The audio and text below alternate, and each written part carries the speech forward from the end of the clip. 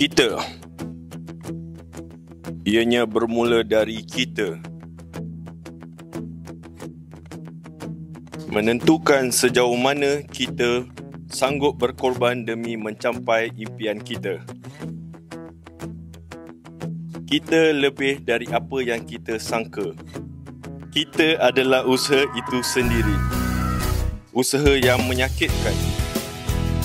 Usaha yang membuat kita kenal diri kita.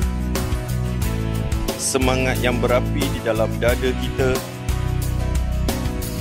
demi keluarga, demi negara, demi pasukan dan yang penting demi diri kita sendiri.